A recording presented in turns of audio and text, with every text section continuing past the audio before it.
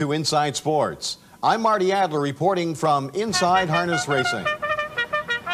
Joe and Helen Dunsmore entered harness racing by buying a mare in foal.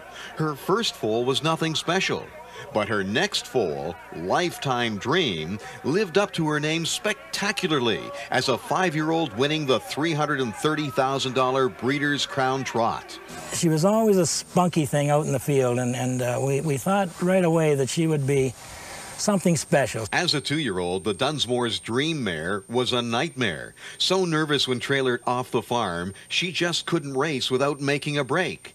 Then Dunsmore remembered an old trick his father taught him. I bought a couple of goats, and we put the goats to with them with her, and uh, it was a love affair right from the start. She, she just uh, seemed to settle right down. We qualified her the following week after we got the goats, and, and we, we just never looked back. My wife Helen and I uh, sit out in the evenings and watch the, the babies play out in the field, and, and uh, I don't think uh, there's any better sport in the world, really. It's a lifetime dream. There's just no doubt about it. My wife named her perfect.